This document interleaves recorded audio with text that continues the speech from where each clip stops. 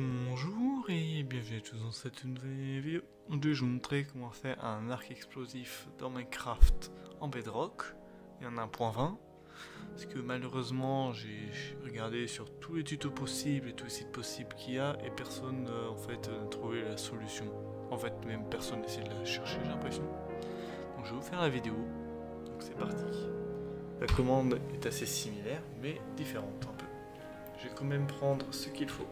Va commencer par un slash give à moi-même avec un command block.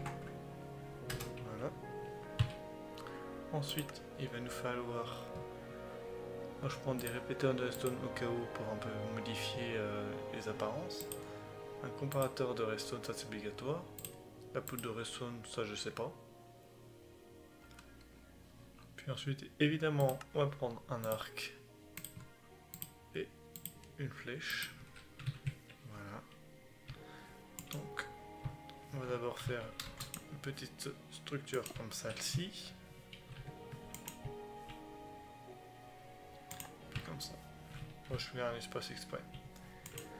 Donc, dans celle-ci qu'on va mettre en répétition et toujours actif, on va taper test for arrobas e entre crochets type égal arrow. Ce command block va s'amuser à détecter les flèches. Donc si j'en tire une, rien qui est euh, détecté. Mais bon, si vous voulez pas avoir un million de trucs comme ça, c'est assez simple. Vous tapez slash game roll, pas game mode. Ensuite, vous allez mettre command block output et vous allez mettre sur false.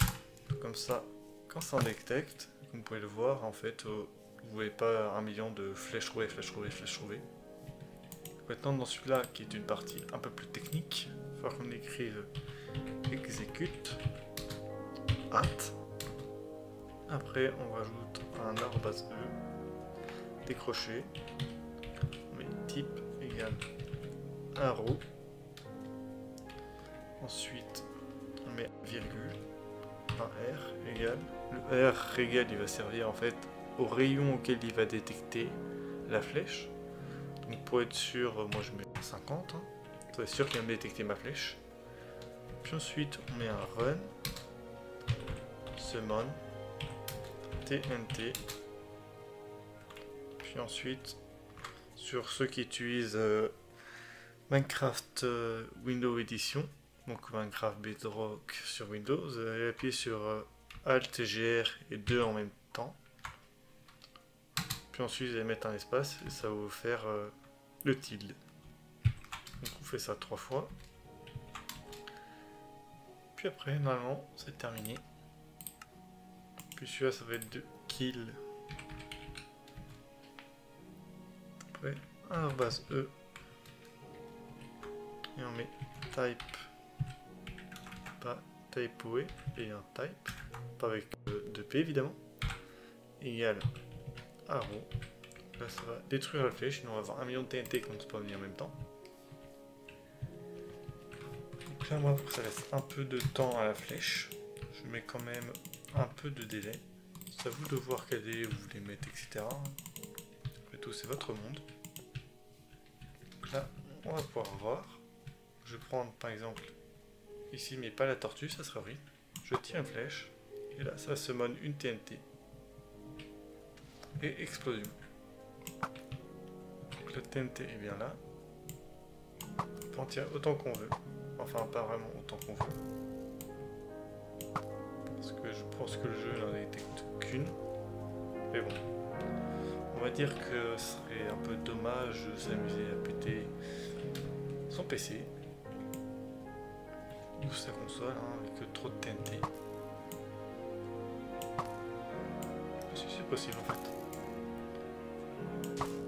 Faut juste que ça capte correctement. Bon. Ça a un peu détruit le système, je suis d'accord. C'est bien possible, faut juste que ça soit pas trop loin.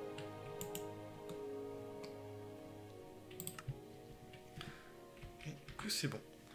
Sinon, je pense que ce sera tout pour cette vidéo. J'espère qu'elle vous aura plu. parce que notamment je suis le premier à faire vraiment une vidéo comme ça qui explique comment le faire en 1.20 et plus. Ce n'est pas tout le monde qui le fait, hein, vous voyez avec moi. Par contre, je ne sais pas que mon personnage peut fermer les yeux. Ça fait bizarre. On est d'accord Voilà. Donc, si ça vous a plu, n'hésitez pas à liker, à partager, à commenter, à vous abonner et activer la cloche. Hein. Puis dites-moi que vous en avez pensé de ce tuto dans les commentaires. Sinon, je vous dis à plus pour un prochain clair.